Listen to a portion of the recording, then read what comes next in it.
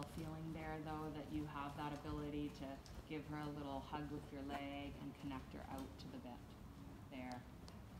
Yep. Out to the bit. Right. And Just riding that again like on your circle line saying, yep, just gradually pushing her a little off of that inside leg to the full circle.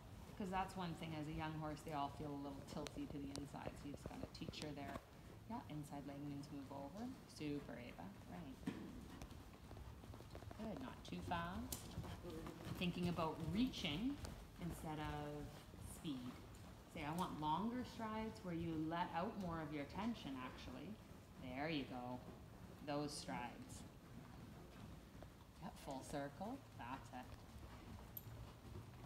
Good, Eeva. And then when you're ready, up to the canter this side. And just think, again, you're just looking for a slow transition, quiet, that she just kind of falls into the canter. Good girl. Right, balance. Good, and take it a little large. Right, super. Yeah, and there you can say to her, just massage the bit a little, that she's not super high and inside out, because that unbalances her. So just say there, I do need to make her just a little rounder on my outside. Yeah, massage that outside rein a little. There you go. Right, just so that you actually capture her shoulder a little there. Eeva. Good. Bring it large. Oh, it's okay. Yep, take your time. And those, like there, just make it very simplistic. Like find a good trot for a sec. Don't rush. Just find another good transition. Say it's an opportunity to have another good transition. Yep, trotting on.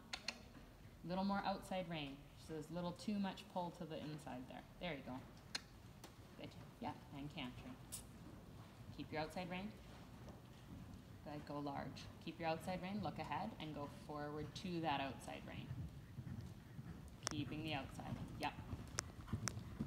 Right. That's your balance point, that outside